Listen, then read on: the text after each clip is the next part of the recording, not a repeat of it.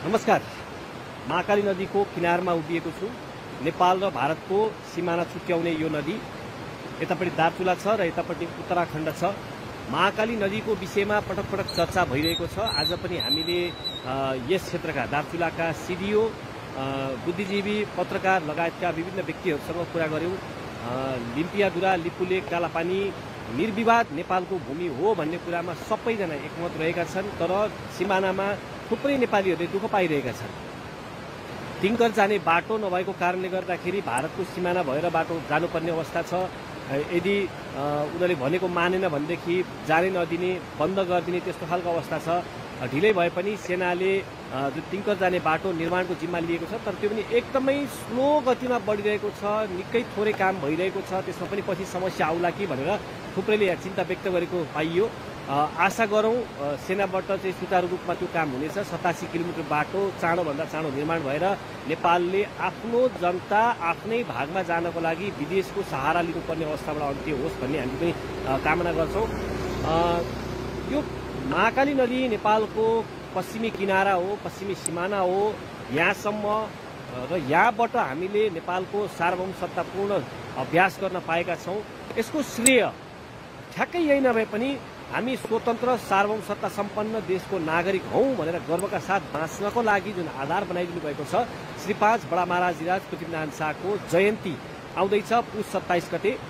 यो वर्ष त्रिशताब्दी अर्थात् तिन सयौं पृथ्वी जयन्ती परेको हुँदा युगद्रष्टा गुरु डाक्टर निलमणि अधिकारी र जरकिलो महाअभियानको संयुक्त परिवारले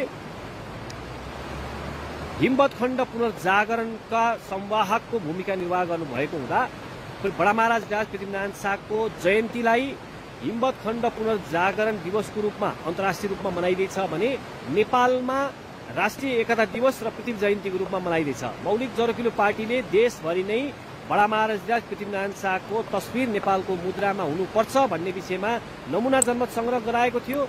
त्यो नमुना जनमत संग्रहमा कतिजनाले राख्नुपर्छ भन्नेमा र कतिजनाले राख्नुहुन्न भन्ने विषयमा भोट दिनुभएको छ मत दिनुभएको छ भन्ने कुराको जानकारी हामी पुस सत्ताइस गते नै दिँदैछौँ। गोर्खाबाट दिने दिँदै गर्नेवाला हुन्छ साथीहरूले। पृथ्वीनारायण शाहको जुन जहाँबाट सुरु भएको थियो नेपाल एकीकरणको सुरुवात भएको थियो त्यहाँबाट नै हामीले सार्वजनिक गर्नेछौँ र हामीले जुन यो मुद्दा उठाएपछि कतिपय दलहरूले कतिपय व्यक्तिहरूले समर्थन दिनुभएको छ पछिल्लो समय प्रधानमन्त्रीलाई पनि ज्ञापन पत्र बुझाएको कुरा आएका छन् त्यसमा हामी धन्यवाद दिन चाहन्छौँ। उहाँहरू जस्तै अन्य दलका नेताहरूले पनि राम्रो कुराको अनुसरण गरिदिनु होला। मौलिक जर्किलो पार्टीले उठाएर केही भएन।